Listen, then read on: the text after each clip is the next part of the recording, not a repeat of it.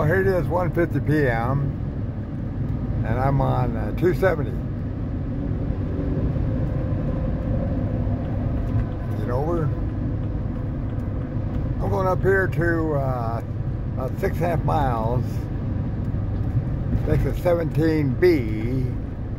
Take Highway 33 towards Marysville. And I'll be on that road for about 48 miles.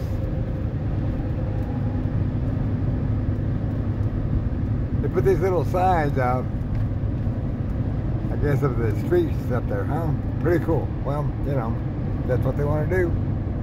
I say I'm on uh, 270 now. Just going through town. I don't know what the heck it is, but anyway. Got uh, 53 more miles to go. So, uh, boy, I'm getting hungry. The scrambled eggs I had this morning, uh, you know.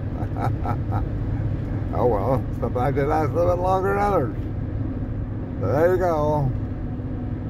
270 to 33.